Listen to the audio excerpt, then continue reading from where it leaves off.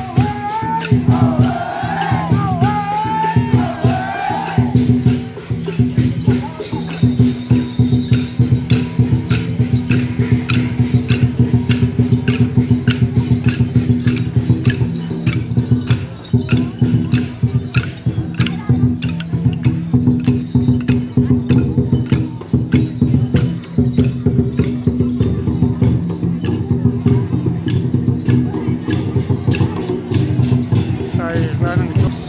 ขบวนเขายังไม่จบนะครับ ก็ยังมีมาเรื่อยๆ ตอนนี้มีแดด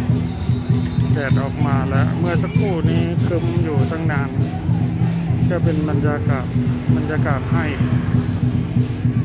อันนี้เป็นการแห่เปียงานประจำปีของชาวบางมูลนาคครับไหว้เจ้าพ่อแก้วอันนี้เรียกเป็นงานนิ้วได้ไหมเนี่ย งานนิ้วใช่ไหมอ๋อก็เรียกเป็นงานนิ้วได้ครับ ก็หลักๆคือไหว้เจ้าพ่อแก้วครับทางนี้เรียกเรียกเนี่ยเปียเนาะอันนี้แห่เปียเลยครับงานเขามีวันเดียวนี่แหละอ๋อครับ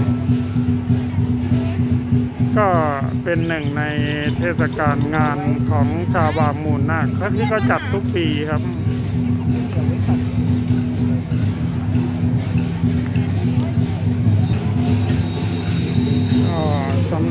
บวนการแห่เปียของบางมุมน่าคครับบางคนก็อาจจะชมไลฟ์สดไปแล้ว บางคนยังไม่ได้ชมก็เป็นคลิปใหญ่คลิปเต็มที่ไลฟ์สดครับของบางมุมน่าคผมก็คงจะขอจบคลิปไว้เพียงเท่านี้ ขอบคุณเพื่อนๆที่เข้ามารับชม